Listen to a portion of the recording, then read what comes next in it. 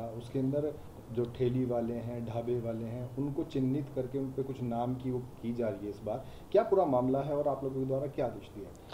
जैसा कि पूर्व में ये मामले सामने आए हैं कि कांवड़ में जो कांवड़िए आते हैं, कई जगह रेट लिस्ट को लेकर, होटल और ढाबों पे विवाद हुआ, खाने वाली चीज़ों को लेकर। इसके अलावा कुछ मुद्दे ये उठते रहे कि कोई नॉनवेज किसी दुकान पे है या कोई अन्य धर्म का, कोई अन्य संप्रदाय का व्यक्ति किसी अन्य नाम से कोई होटल, ढाबा खोला हुआ है, जिसको लेकर आपस में हमेशा दिक्कतें आती रही हैं। उसके देखते हुए निर्णय लिया गया था कि जो भी दुकान है, होटल हैं, ढाबे हैं, इस सब पे उसका जो प्रोपेटाइटर हो, जो उसका मालिक हो, उसका नाम बड़े बड़े अक्षरों में साफ़ सुथरा इंगित हो, दुकानों पर रेट लिस्ट लगाई गई हो, साथ ही वहाँ जो कार्य करते हो, कर्मी, उनका का नाम इंगुत हो, ताकि किसी प्रकार की कोई समस्या ना उत्पन्न हो और जो भी व्यक्ति जाता है उसके सामने सबकी पहचान सुनिश्चित हो। जानबूझकर भी कोई विवाद उत्पन्न करना चाहता हो तो वो भी ना कर सके और अपना नाम छिपा कर कोई अन्य तथ्य रख के लोगों को कोई भ्रमित ना कर सके, इसको लेते हुए निर्णय लिया गया था और इसमें सभी से बातचीत हो गई है, सभी होटल ढाबे जितने हैं, सभी से इसकी आम सहमति बन गई है और पूरे कांवड़ कांवड़ के हमारे जो मार्ग है, इसको लेते हुए निर्णय किया गया है। कुछ ठेलियों की वीडियो भी वायरल हो रही है जिसपे ठेली वालों ने अपने नाम भी अंकित किए हैं